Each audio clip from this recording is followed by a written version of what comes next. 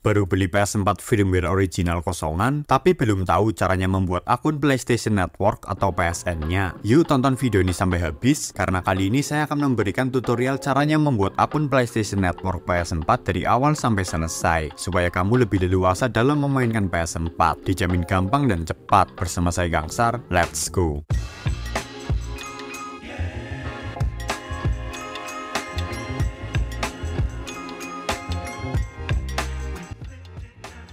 PlayStation Network atau PSN adalah sebuah akun yang dibutuhkan agar bisa mengakses semua fitur-fitur yang tersedia di konsol PS terutama PS4. Tanpa adanya akun PSN, kita hanya bisa bermain game di PS4 menggunakan BD atau kaset. Sementara dengan akun PSN, kita bisa mendownload game digital dan aplikasi hiburan, mengakses PlayStation Store, berinteraksi dengan sesama pengguna PS di seluruh dunia, dan lain-lain. Saat kita pertama kali membeli konsol PS4 berfirmware original atau OFW, PS tersebut masih dalam kondisi kosongan tanpa tanpa akun, maka kita harus membuat akun PSN sendiri. Namun sayangnya masih banyak gamer PS4 pemula yang bingung mengenai cara membuat akun PSN. Maka kali ini saya akan memberikan tutorial cara membuat akun PSN dari awal sampai selesai yang bisa kamu ikuti. Karena ternyata cukup mudah dan singkat. Hal pertama yang perlu kamu siapkan untuk membuat akun PSN adalah koneksi internet dan email aktif. Sementara nomor HP itu opsional saja. Jika kamu sudah punya keduanya, langsung saja kita masuk ke tutorialnya.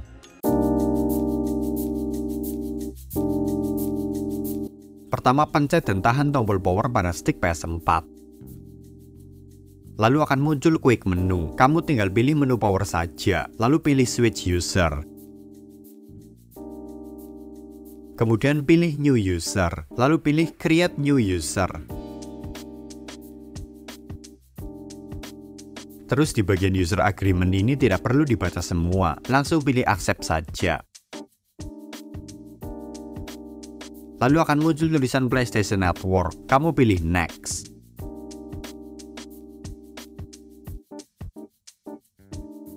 Lalu pilih Create an Account.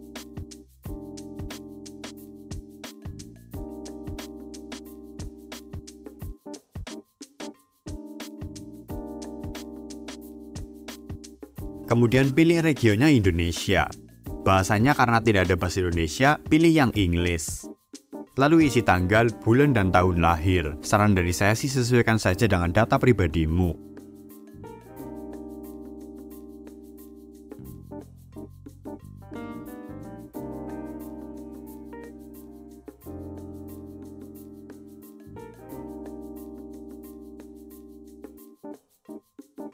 Jika sudah, pilih Next. Kemudian isi nama kota kamu.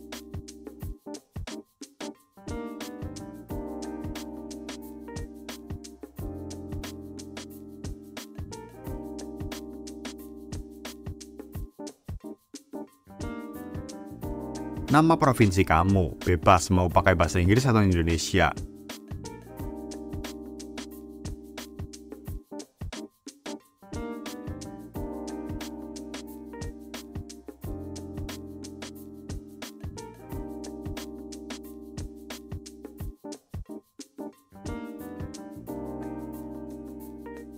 Terakhir, isi nomor kode pos daerahmu.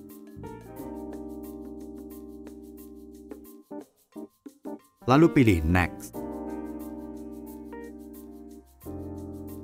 Lalu di bagian sign in ID isi dengan alamat email aktif kamu.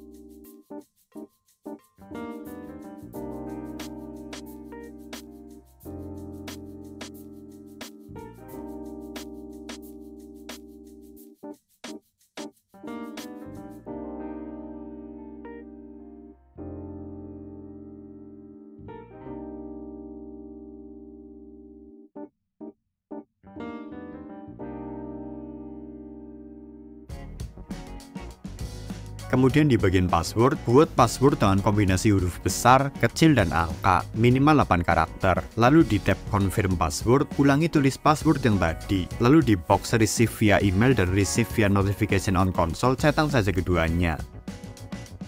Lalu next.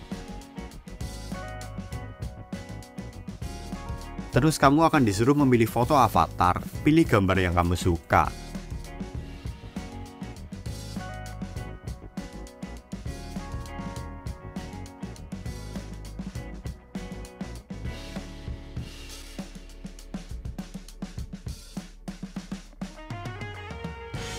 Lalu tampilan akan membawa kita untuk menuliskan online ID. Online ID ini adalah username akun kita. Isi dengan serius, karena biasanya tidak bisa diganti lagi. Kalaupun bisa diganti, biasanya harus bayar.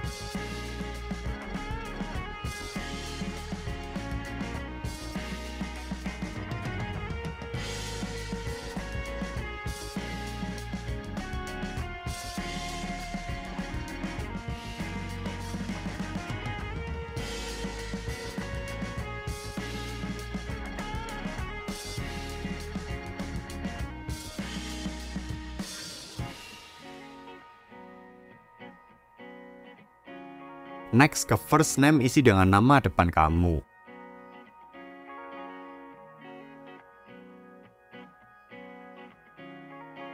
Dan last name isi dengan nama belakang kamu.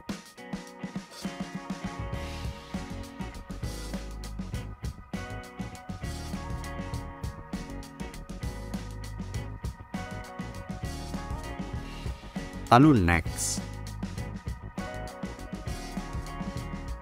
Lalu pilih continue.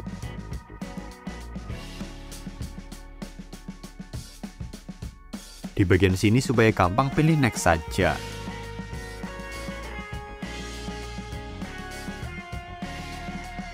Lalu next lagi. Terakhir next lagi.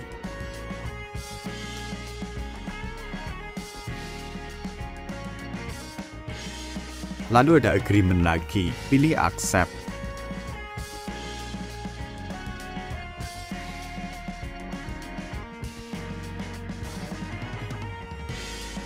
Dan akan muncul tulisan the account was successfully created. Namun belum selesai, kita next dulu. Karena kita harus memverifikasi email, kamu harus cek email terbaru di inbox email yang sudah kamu tulis tadi. Email pengirimnya atas nama PlayStation. Buka email tersebut lalu pilih verify now.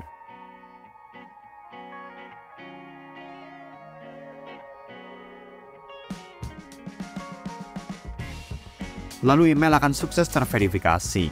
Balik ke PS, pilih Already Verified.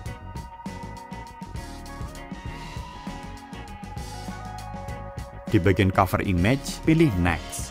Lalu ada menu Setup to Verification sebagai pengamanan ekstra. Karena ini bisa dilakukan nanti, jadi kita pilih Do this letter saja tapi tetap kemudian kita disuruh untuk menuliskan nomor HP aktif. Tulis nomor HP kamu.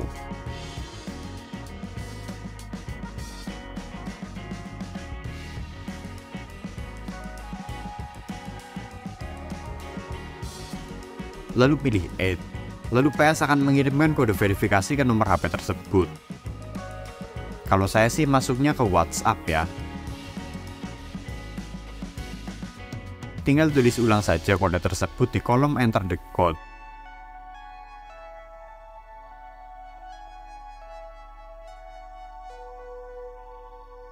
Lalu pilih verify. Setelah nomor telepon berhasil diverifikasi, tekan OK.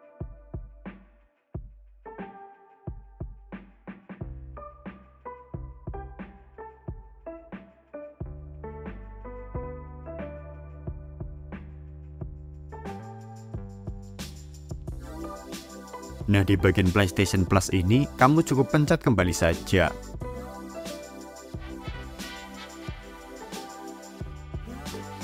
Lalu pilih OK. Lalu akan muncul notifikasi Welcome to PS4, lalu pencet OK. Dan selamat, kini akun PSmu sudah jadi. PS akan membawamu ke menu awal PS4 dengan akun barumu tersebut. Sekarang kamu sudah bisa mengakses semua fitur PS4 termasuk PlayStation Store.